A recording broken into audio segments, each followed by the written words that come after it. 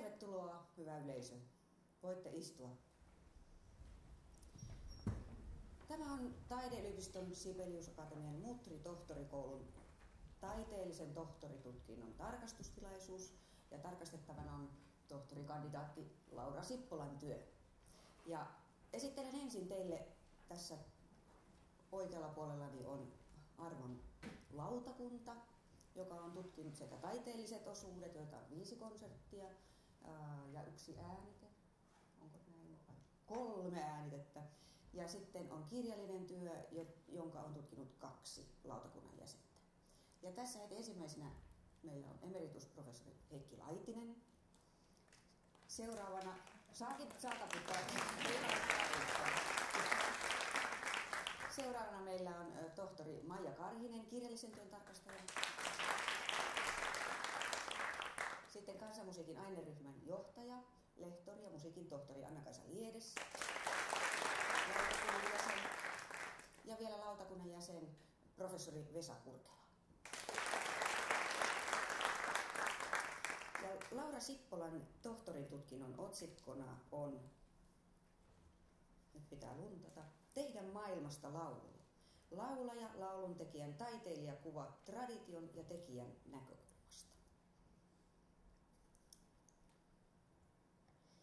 Sibelius Akatemian akateemisen neuvoston määräämänä valvojana julistan tohtorin tutkinnon opin ja taidon näytteen tarkastustilaisuuden alkaneeksi.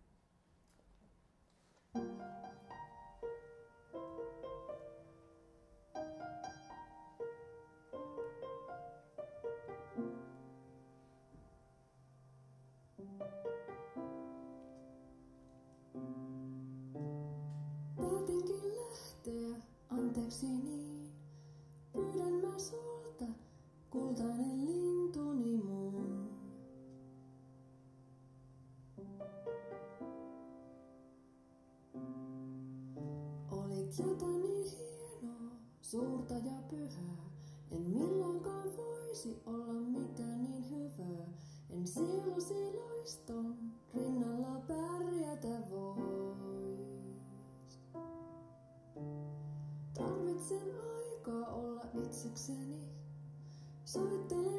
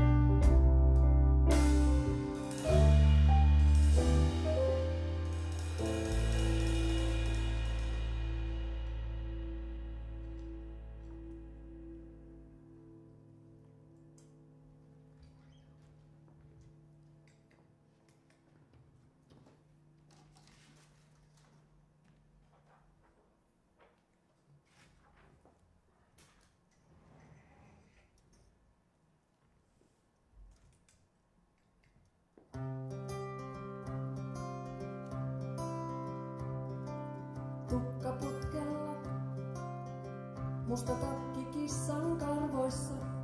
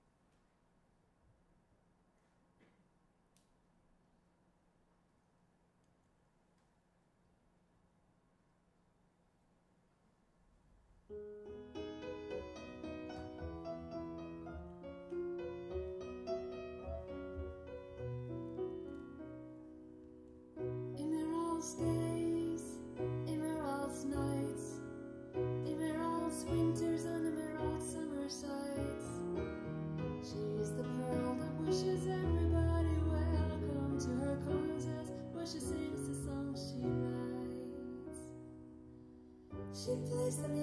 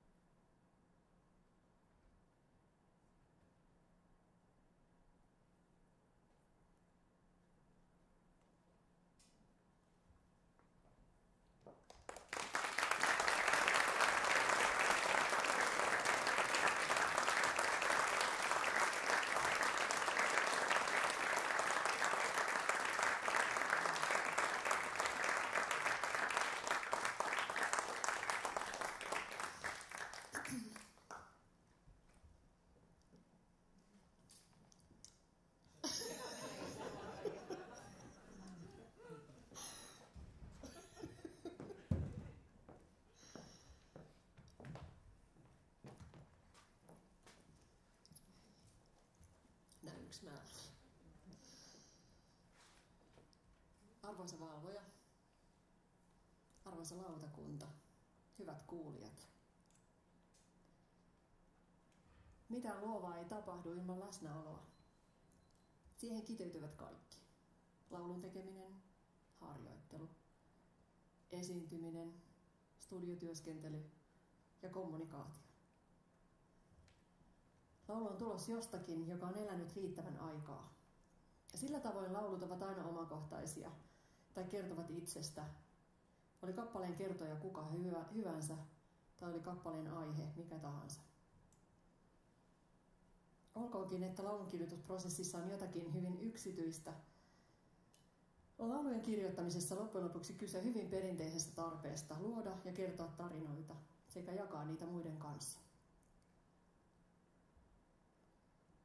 Taiteellisessa tutkimuksessa taiteilija ei tutki omia teoksiaan, vaan omilla teoksillaan, kirjoitti filosofi Tuomas Nevanlinna Kuvataideakatemiassa kesällä 2008 julkaistun juhlakirjan artikkelissa. Taiteellinen tohtorin tutkinto koostuu viidestä taiteellisesta osiosta ja kirjallisesta työstä. Omalla kohdallani taiteellisen tutkimuksen metodi on ollut laulujen tekeminen, ja tutkimuksen tuloksena ovat syntyneet laulut. Laulut ovat sekä hedelmä taiteellisesta tutkimuksesta että taiteellisen tutkimuksen laboratorio. Samalla laulut ovat olleet väline sille tulokselle, jonka taiteellisessa tutkimuksessani tuon esiin. Todella selkeää. Työskentelyni, työskentelyni laulaja lauluntekijöiden ja lauluntekijämusiikin parissa on ollut kirjallista oikeastaan niin taiteellisten osioiden kuin kirjallisen työn kohdalla. Ensiksi mainitussa olen yrittänyt sanoja ja säveliä, yhdistelemällä löytää yhä tarkempia keinoja ilmoista haluamieni asioita. Olen joutunut tiivistämään ajatuksiani ytimekkäisiin lauseisiin, joita laulusäkeisiin mahtuu ainoastaan muutama kerrallaan. Olen yrittänyt hyödyntää musiikillisia kommunikatiivisia keinoja tukea sanottavia asioita, sanoittaakseni lauseita myös sävelin. Tavoitteenani on ollut kirkastaa lauluun tuntemukseni ja ajatukseni. Kirjallisen työn kohdalla taas olen avannut laulun tekemisen problematiikkaa. Olen pohtinut sanan ja sävelen liittoa. Olen kuvannut työskentelyä selittämällä pohdintojani mahdollisimman laveasti ja sanatarkasti. Olen yrittänyt avata sanallistaa ja selventää myös sanojen takaisia asioita sekä kuvata laulutikon stimuloivia ajatuksia ja elämänvaiheita kuin kuvaamaan itse syntynyttä laulua. Pyrkimykseni on ollut avata sitä, mistä kohdista laulu syntyy ja miten se syntyy. Reflektiivisyys on ollut kohdallani metodi niin kirjoittamiseen kuin laulun tekemiseen. Tavoitteeni on ollut kirjoittaa niin, että sekä musiikkini että kirjallinen työ loisivat yhdessä jotakin ehyempää kuin mihin kumpikin erikseen olisivat kykeneväisiä. Tutkimuksessani on ollut kyse halusta tutkia laulun anatomiaa ja sen laadullisia kriteereitä säveltämällä ja kirjoittamalla. Tämä kaikki on ollut samalla täydellisen laulun metsästämistä. Tutkimukseni on pyrkinyt tekemään näkyväksi myös sen, mistä laulut syntyvät. Laulujen selittäminen on aina vaikeaa, koska yhtä laulua saattaa työstää joskus jopa vuosia niin, että se olisi selittämätön ja ymmärrettävä samaan aikaan. Syntynyt laulu on minulle eletyn elämän tunnusmerkki. Joka kerta kun saan laulun valmiiksi, tiedän onnistuneeni käsittelemään jonkun asian elämässäni. Olen kartoittanut myös lauluntekijämusiikin ominaispiirteitä ja valottanut genren historiallista taustaa. Laulaja lauluntekijä on muusikko, joka säveltää, sanoittaa, laulaa ja soittaa. Niiden lisäksi hahmota viidennen elementin, eräänlaisen henkilökohtaisen osallisuuden, joka läpäisee kaikki neljä osa-aluetta. Se on elementti, joka ilmiantaa laulun esittäjän sen tekijäksi. Se luo kuulijalle tunteen siitä, että sekä kulisseissa että estraadilla toimii yksi ja sama henkilö. Se on tapa säveltää lyriikkaa, sanoittaa musiikkia, fraseerata ja käsitellä omaa säästyssoitinta laulua vasten. Laulaja ja lauluntekijän vahva henkilökohtainen osallisuus muodostuu usean eri seikan summana. Songwriter music, lauluntekijän musiikki, kiinnittyi folkkiin, rockmusiikkiin ja pohjoisamerikkalaisiin poptyyleihin ja erottautui 1960- ja 1970-lukujen taitteessa omaksi lajikseen ennen kaikkea henkilökohtaisilla, ympäristöä tarkkailevilla tai elämää kommentoivilla lyriikoilla. Perinteisenä säästyssoittimina toimivat pääosin kitara ja piano. Erityisesti genren keskeisiin vaikuttajiin nousivat Bob Dylan sekä myöhemmin Joni Mitchell – Heistä Dylan oli tarinankertoja, joka kehitti laululyriikan kantaottavuutta ja laajensi radikaalisti kaikilta osin laulujen aihepiirejä. 70-luvulla folkin kantaottavuus muuttui sisäänpäin kääntyneemmäksi, ja tässä murroksessa Joni Mitchell oli genren avainhenkilö. Yhteiskunnan epäkohtiin puuttumisen vastakohdaksi levisi yksilöön keskittyvä näkökulma. Henkilökohtaisesta tuli poliittista – Kantaottavuus taas voitiin nähdä henkilökohtaisena esiintulona. Omiin kokemuksiin pohjautuvat laululyriikat alkavat kukkia runollista metaforaa ja yksityiskohtaisia, henkilökohtaisia avauksia. Suomeen laulutikemimusiikki rantautui pian sen jälkeen, kun Yhdysvalloista palaavat vaihto-opiskelijat toivat mukanaan uusia levyjä ja levittivät folkin ilosanomaa. Kesti kuitenkin tovin ennen kuin Suomessa, alettiin uskal- ennen kuin Suomessa uskallettiin alkaa julkaista artistien omaa materiaalia. Laulaja lauluntekijä Marja Matlar kertoo haastattelussa ajatuksistaan laulaja lauluntekijänä Suomessa näin. Kaikkien lauluntekijöiden työtä hankaloittaa se, että Suomessa ei oikeastaan ole selkeää singer-songwriter-kulttuuria. Niinpä sopivat esiintymispaikat, tarkoituksenmukaiset tiedottamiskanavat ja myös lauluntekijämusiikin seuraamiseen erikoistunut yleisö puuttuvat. Itsensä kuuloisiin omia musiikillisia linjauksiaan tekeviin laulaja lauluntekijöihin ei suomalaisissa levyyhtiöissä ole juurikaan uskallettu panostaa. Matlar nostaa esiin myös sukupuolikysymyksen, Ehkä suurin yksittäinen ongelma on ollut esikuvien ja samaistumiskohteiden puute. Tähän samaistumiseen ei oikein riitä naistekijä siellä, toinen täällä. Olisin itse kaivannut varsinkin urani alussa kokonaista musiikkikulttuurin osa-aluetta, jossa olisi voinut, nähdä naismuusikoiden tekemään selkeästi oman näköistään ja oman kuuloistaan musiikkiuraa. Esikuvat ja selkeä musiikillinen malli helpottavat oman paikan löytymistä erilaisissa musiikillisissa yhteyksissä ja tilanteissa. Silloin pystyy myös seisomaan selkeästi ja määrätietoisesti oman musiikkinsa takana. Vahva toiveeni on, että lauluntekijämusiikin sija vahvistuu suomalaisen musiikin kentällä. Tarvitaan tukimuotoja ja verkostoja, jotka kokoavat laulaa ja lauluntekijöitä yhteen. Toivon myös hartaasti, että Taideyliopiston Sibelius Akatemia saadaan viimein lauluntekijämusiikin opetusta. Tarve sille on valtava, sillä taideyliopistossa on huikea määrä lahjakkaita ja taitavia omaa musiikkiaan tekeviä ja esittäviä muusikoita.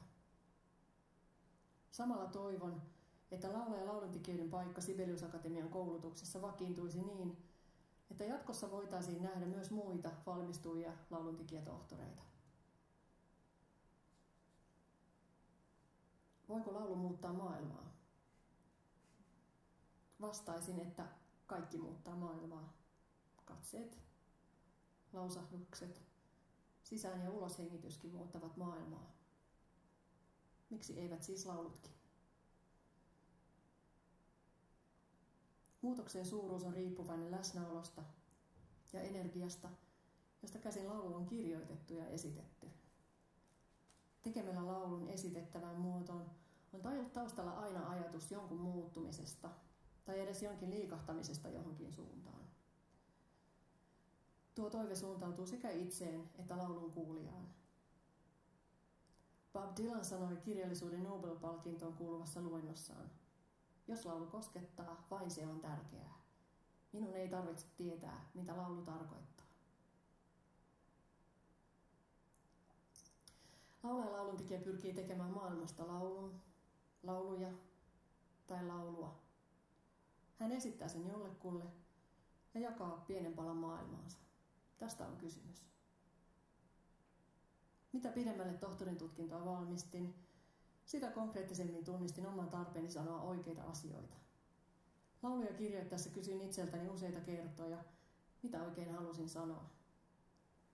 Tajusin myös, että mitä täsmällisempiä asioita kirjoitin, sitä enemmän tilaa jäi rivien väleihin – sävellyksellinen osaaminen, joka oli ollut vahvuuksiani, alkoi näyttää pikemminkin rasitteelta.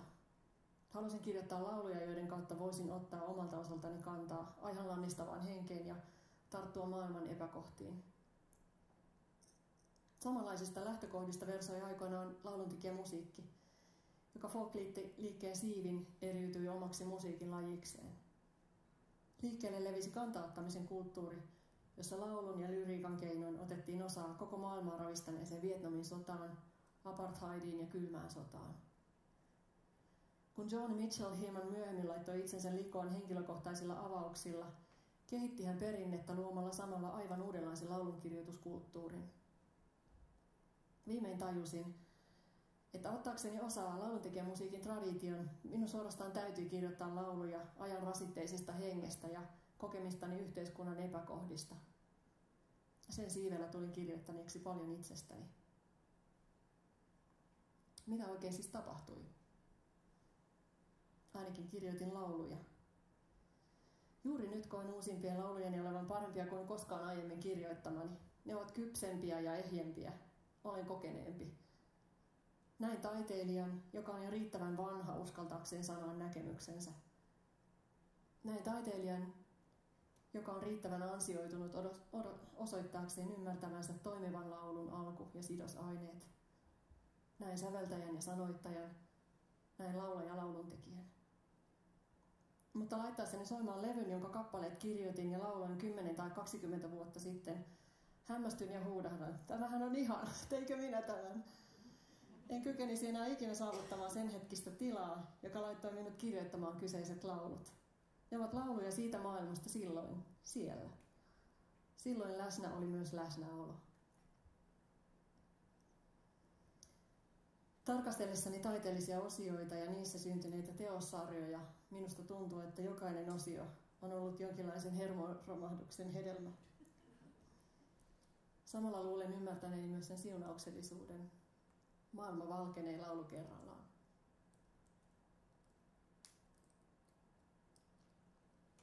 Maailma valkenee laulu kerrallaan.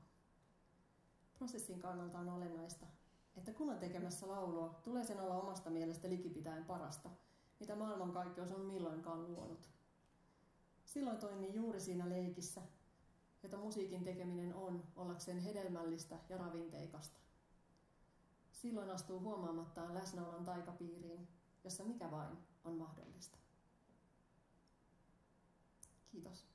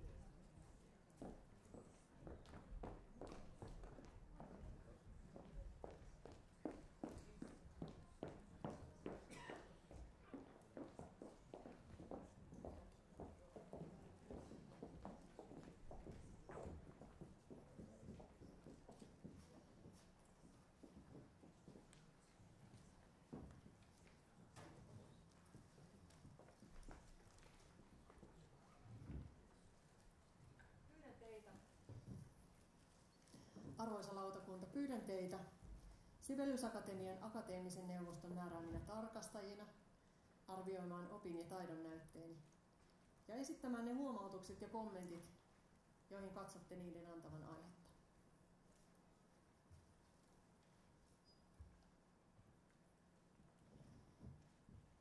Arvoisa kustos, hyvä tohtoritutkinnon tekijä, arvoisa yleisö, rakkaat ihmiset.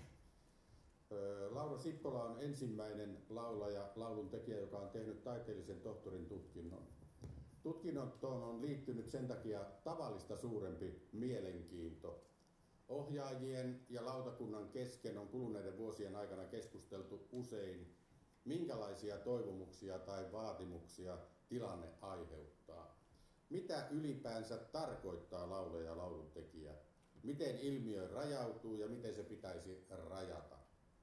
Näitä kysymyksiä Laura Sippola käsittelee myös kirjallisessa työssään ja tärkeimmät vastaukset on kuitenkin saatu tutkinnon konserteissa. Tarkastettavana oleva taiteellinen opin ja taidon, näyte koostui viidestä konsertista, jotka pidettiin Helsingissä seuraavasti Laulun sanoin, laulaja lauluntekijän tohtorirohtoja marraskuussa 2008, Like Joni and Pop Did, lauluntekijä musiikin Helmiä syyskuussa 2009, Stadion lokakuussa 2010 ja siihen liittyi levy, levytallenne Stadion 2010, Sippola Stories marraskuussa 2011 ja levytallenne Like Lullaby 2013. Intermezzo viidentenä maaliskuussa, tämän vuoden maaliskuussa ja siihen liittyy levytallenne Intermezzo, joka on jo osittain ilmestynyt. Nämä taiteelliset opinnäytteet on arvioinut lautakunta, johon kuuluvat lehtorit Anna-Kaisa Liedes ja Heikki Valpola, dosentti Hannu Saha sekä professorit Vesa Kurkela ja Heikki Laitinen. Lisäksi tutkintoon liittyy kirjallinen työ otsikolla Tehdä maailmasta laulu, laulaja lauluntekijän taiteilijakuva tradition ja tekijän näkökulmasta, ja sen ovat tarkastaneet filosofian tohtori Risto Plumster ja musiikin tohtori Maija Karhinen Ilo ja kohta kuulemme heidän lausuntonsa. Kolme konserteista on ilmestynyt tai ilmestyy myös levytallenteena. Konserttien musiikki, toista konserttia lukunottamatta, koostui Laura Sippolan säveltämistä ja runoilemista lauluista ja konserttien musiikin esittämisestä neljättä konserttia lukunottamatta vastasi yhtye, jota juuri äsken kuulitte, Laura Sippola tuki Laura Sippola laulu ja piano, Peter Engberg kitarat, Tuure Koski basso ja Kepa Kettunen rummut. Ensimmäinen konsertti. Laulun sanoin. Laulaja, lauluntekijän tohtorin rohtoja marraskuussa 2008.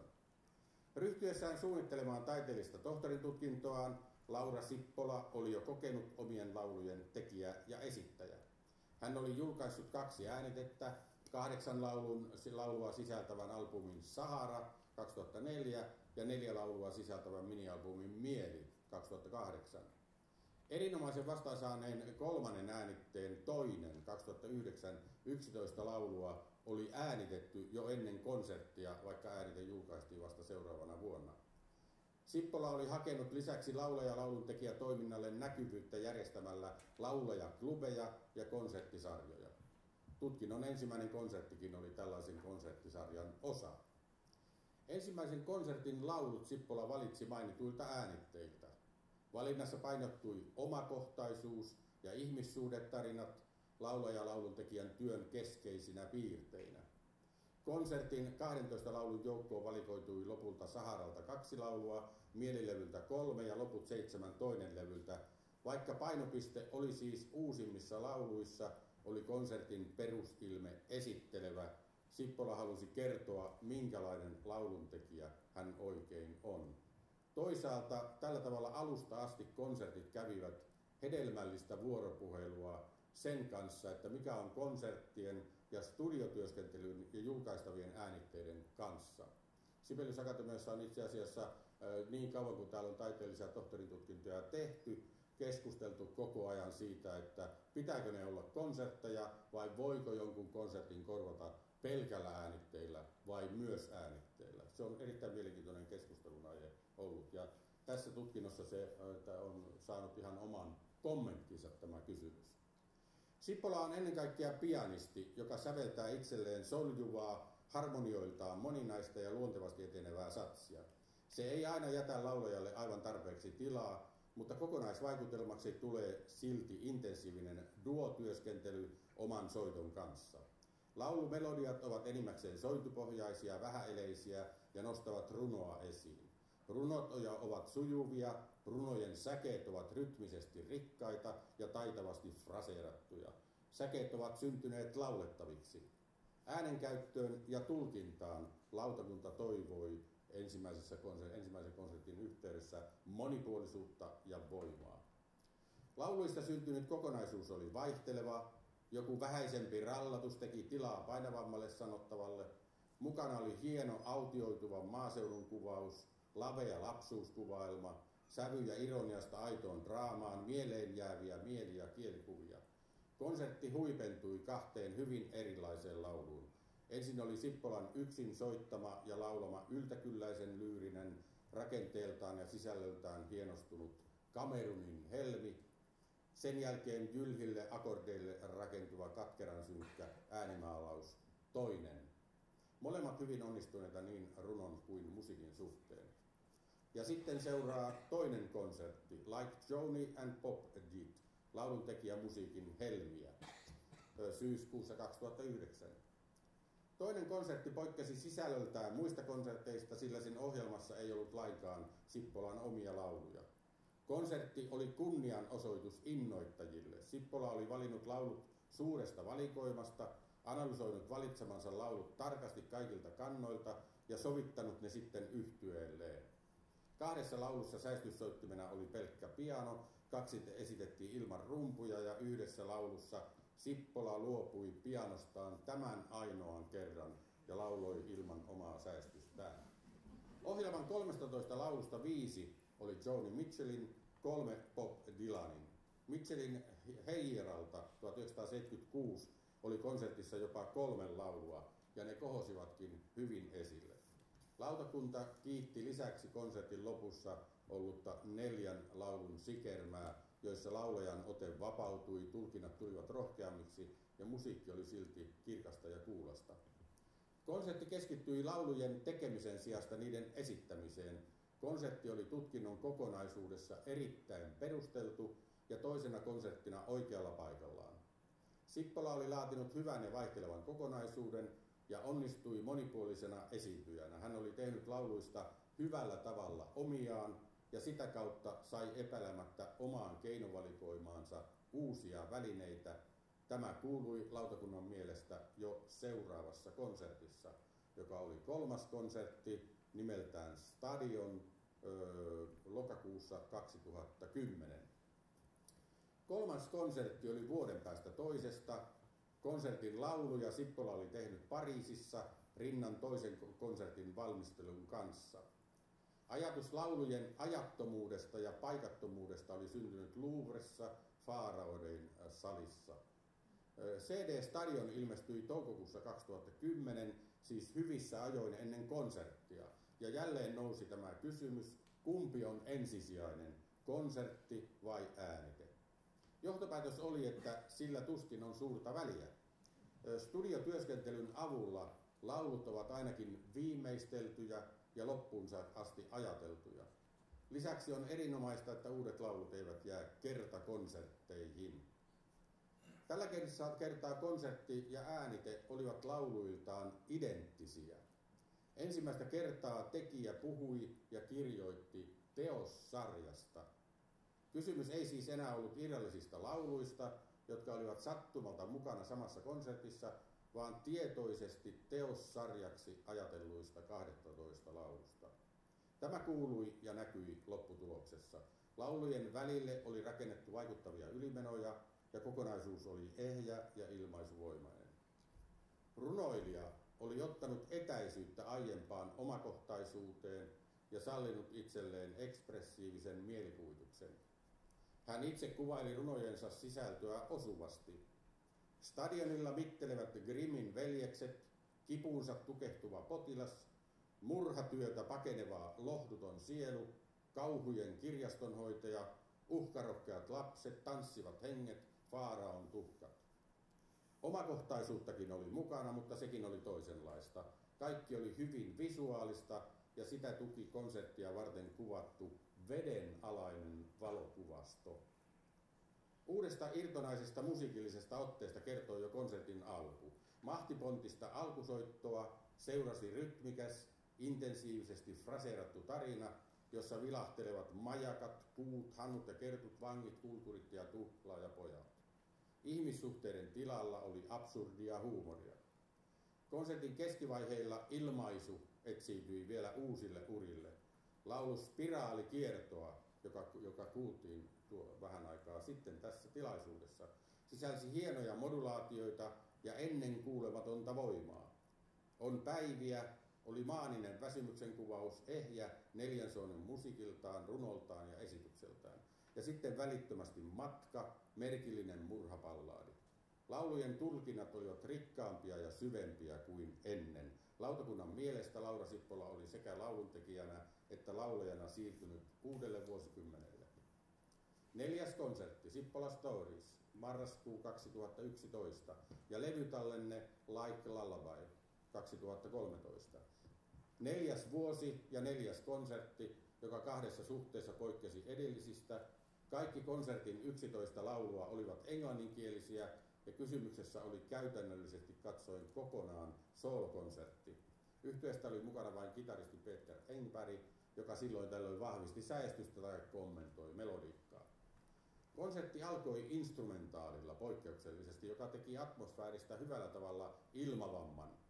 Laulut olivat syntyneet pakottomasti ja luontevasti myös englanniksi. Mieli ja kielikuvat olivat edelleen runollisia.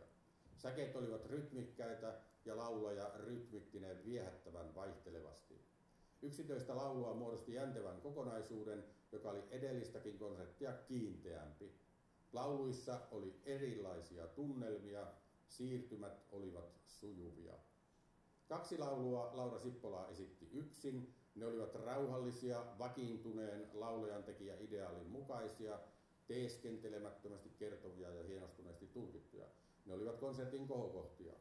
Niiden vastakohtana kaksi laulua oli voimakkaasti rokahtavaa. Niissä laulaja päästi itsensä irti ennen kuulemattomalla tavalla.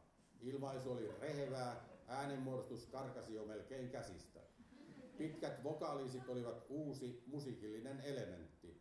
Muutenkin äänenkäyttö falsetteineen, dramaattisuutta tavoittelevinen vokaliiseineen ja huutoineen ja huudahduksineen oli rennompaa, vapautuneempaa ja värikkäämpää kuin aiemmin. Musiikillisesti piano oli entistä keskeisempi sooloasetelmasta johtuen. Toisaalta Sippolan pianismi ja pianosatsi pääsi entistä paremmin esille, mutta toisaalta silloin tällöin laulu uhkasi jäädä vuolaan ja voimakkaan pianon varjoon. Laulut olivat ehkä kuitenkin syntyneet yhtyettä varten. Ainakin useimmat niistä pääsivät oikeuksinsa vasta, kun Laura Sippola et tuki teki niistä studioäänitykset ja julkaisi ne levyllä seuraavana vuonna. Äänitteillä Sippola ylitti jälleen aikaisempia rajojaan tulkitsijana. Ja viides konsertti maaliskuussa tänä vuonna Intermezzo ja levytallenne Intermezzo. Viides konsertti sisälsi jälleen 12 uutta laulua. Tekijän mukaan huomio kohdistui nyt ennen kaikkea lyriikkaan ja hän pyrki samalla pitämään sävellyksellisyyden maltillisena, jopa staattisena. Laulut olivatkin yksinkertaisempia ja arkisempia. Myös pianon rooli sekä satsin että harmonioiden tuottajana oli hillitympi. Arjen kuvaamiseen arkiset laulut kuitenkin sopivat hyvin ja parhaimpina hetkinään ne kiteyttivät aiheensa vaikuttavasti. Viides konsertti toteutui yli viisi vuotta edellisen jälkeen, mikä näkyi ja kuului monella tavalla lopputuloksessa, muun muassa lievänä epävarmuutena ja esiintymisjännityksenä. Intensiivisen työskentelyn ketju oli päässyt jossain määrin katkeamaan. Silti konsertti osoitti kypsää osaamista niin laulujen teossa, teon kuin esittämisen alueella. Erityisesti valvojaiset ja meidän tie on tämä, joka myös kuultiin tämän tilaisuuden alussa, kohosivat esiin niin runoudellaan kuin musiikillaan. Tähän mennessä julkaistut äänitteet osoittavat, että studioäänityksenä tämänkin konsertin laulut ovat löytäneet varsinaisen intensiteettinsä. Kiitoksia. Ja nyt Maija Karhinen Ilo lukee kirjallisen työn tarkastajien lausunnon.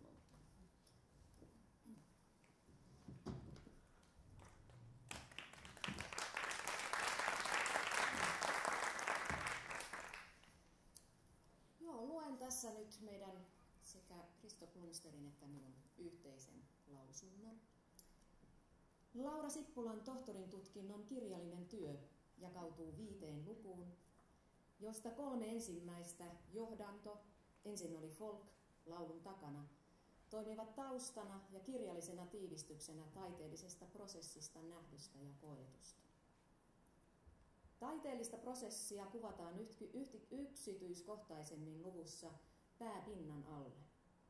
Lyhyessä lopuksi luvussa tutkija lauluntekijä Sippola seisoo tässä hetkessä ja kommentoi myös tulevaa. Kirjallisen työn aiheena on laulaja lauluntekijyys ja siihen liittyvä erityinen tapa tehdä musiikkia. Otsikon mukaisesti aihetta lähestytään sekä tradition että tekijän näkökulmasta. Taustaksi kuvataan erityisen laulaja lauluntekijyyden syntyä aina suomalaisen folkin varhaisvaiheista ja sen tekijöistä nykyaikaan saakka. Amerikkalaisten vaikutteiden ja erityisesti Bob Dylanin antaman alkusysäyksen jälkeen syntyi myös Suomeen kantaa ottava folk, huutenani ja laulelma sekä työväen liikkeeseen ja hengellisiin liikkeisiin kytköksissä oleva uusi lauluntekijä ja esityskulttuurinsa. Lisäksi voidaan mainita folkliikkeen vaikutus kansanmusiikin uudessa nousussa 1960-luvulla sekä vähemmistöjen kansalaisoikeusliikkeissä, kuten romaanit ja saamelaiset. 1970-luvulla folk-aallon vaimentuessa kehitys johti suomalaisen folkin ja rockin risteyksessä omaehtoisen suomenkielisen populaarimusiikin tekijöihin.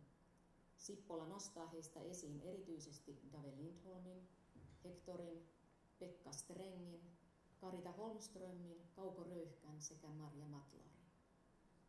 Sippolan kuvaama kaari kantaa edelleen. Tämän hetken yhtenä merkittävänä ilmentymänä, kuten Sippola osuvasti huomauttaa, likipitään jokaisessa kunnassa, kylässä tai pitäjässä on joku, joka kirjoittaa lauluja ja esittää niitä jollekin. Kyseinen huomio antaa myös tälle käsillä olevalle työlle erityisen perspektiivin ja mittakaavan. Sippolan kirjallisessa työssään kuvaama laulaja, lauluntekijän taiteilijakuva ja siihen liittyvä kokemuksellisuus ovat arkipäivää jokaisessa Suomen taajamassa. Tradition näkökulmasta siirrytään itse tekijän näkökulmaan. Laulun takana luvussa Sippola esittelee ajatuksiaan taiteellisesta tutkimuksesta. Sippola kuvaa taiteellisen tutkimuksen laboratoriona tai petrimaljana tai eräänlaisena kehänä, jossa laulun tekeminen, esiintyminen ja lukuisat muut tekijät ovat jatkuvassa vuorovaikutuksessa keskenään. Laulujen tekeminen toimii siis metodina. Prosessin tuloksena syntyneillä lauluilla on myös välineellinen luonteensa siinä mielessä, että niiden avulla tuodaan esille taiteellisen tutkimuksen tuloksia. Sippolan mukaan lauluntekijän musiikin sisintä on omakohtaisuuden kokemuksen välittäminen. Katseen suunta on yksityisestä yleisempään ja se on usein jollain tavalla arvioiva, tunnustuksellinen ja myös kriittinen. Sippola pilkkoo lauluntekijyyden ja siihen liittyvän toiminnan tuloksineen alaotsikoiden sanat, sävel ja esittäjä alle. Kaikkien näiden alaotsikoiden alla aihetta käsitellään omista kokemuksista lähtien, mutta täydentäen niitä muiden laulaja lauluntekijöiden kokemuksella sekä musiikin tutkijoiden analyyseillä. Syntyvä kuva tekijöiden kokemuksesta on oikeastaan yllättävän yksimielinen. Herääkin ajatus, onko aineisto myötäkarvainen vai eikö toisenlaisia tulkintoja ole vain saatavilla tai edes olemassa. Kirjalliseen työhön on tuotu mukaan kiitettävän paljon muun taide, taidekorkeakoulussa tehdyn taiteellisen tutkimuksen kommentointia sekä lauluntekijöiden ja säveltäjien itse reflektiivistä pohdintaa heidän omasta työskentelystään. Sen sijaan kiinnostavaa olisi ollut lukea enemmän Sippolan omista kokemuksista laulun tekemisen opettajana.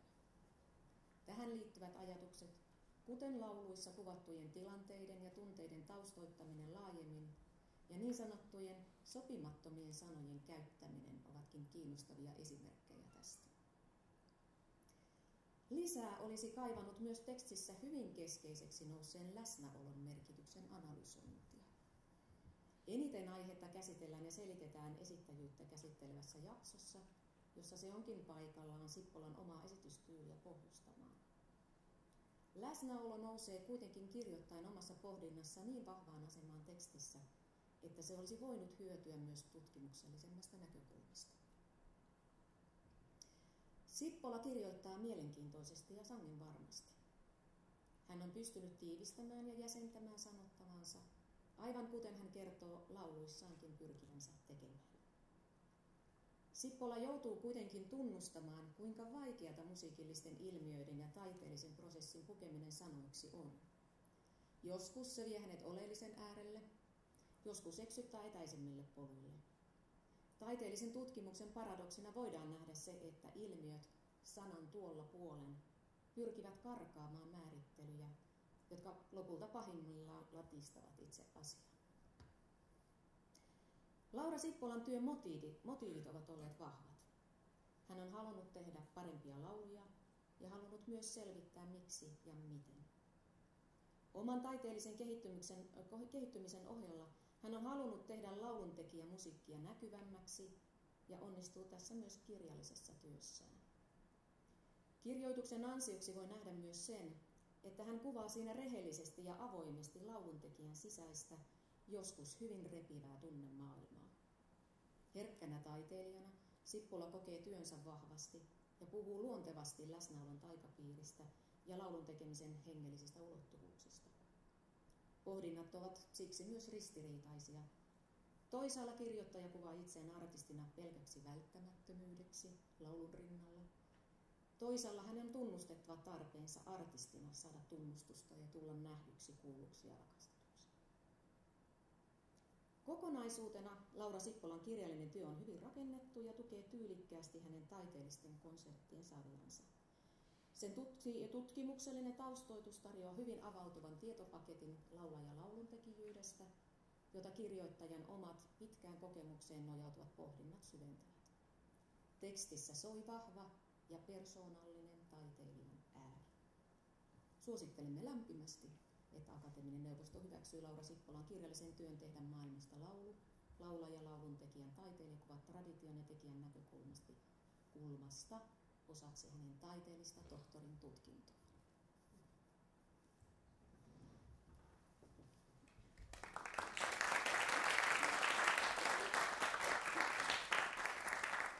Kiitän lautakuntaa, kiitän lautakunnan ja tutkielman tarkastajia lausunnoista. Nyt saat istua. Nyt Kiitos. alkaa varsinainen.